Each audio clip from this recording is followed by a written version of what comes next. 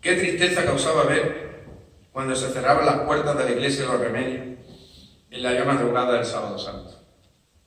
La Semana Santa en Ceuta había terminado. En la actualidad, sin embargo, la conmemoración cristiana más importante tiene un punto seguido en el domingo de Pascua. Sabemos que la historia no termina con la pasión. Después del sufrimiento y de la cruz, viene la gloriosa resurrección. Jesús vive, Jesús triunfa sobre el poder del mal.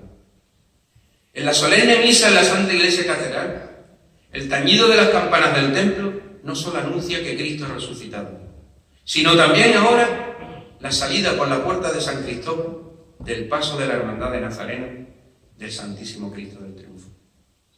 Paso muy sencillo en proceso de realización, en el que los colores morados, rojos o sangre de toro de las flores han dado paso al blanco.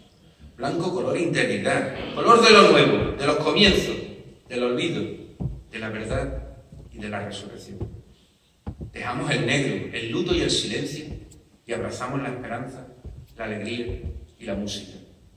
El Señor del triunfo, Jesús resucitado, sujeta en su mano izquierda una cruz, la cual descansa sobre una barca de nombre África, un guiño a nuestra patrona y también a nuestra ciudad. Imagen que simboliza el triunfo de la vida sobre la muerte, del amor sobre el odio, de la santidad sobre el pecado, del silencio lleno de amor y de perdón sobre las palabras de odio que dicen perdonar. Bajo los respiraderos, 35 hombres y mujeres tienen la suerte de ser costaleros y costaleras del Señor de la Resurrección. Los últimos han demostrado su devoción. La Semana Santa está finalizando, pero los vecinos y vecinas de esta, nuestra querida ciudad aún pueden disfrutar con la nostalgia de lo vivido de una procesión matinal.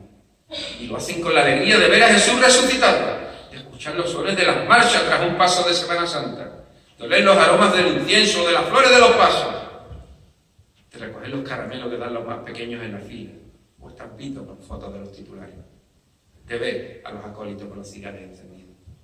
Pero es una felicidad distinta, porque tal y como los evangelios anunciaron, Jesús al tercer día después de haber sido crucificado ha resucitado, y el Señor del triunfo está en la calle, Vamos todos a disfrutarlo.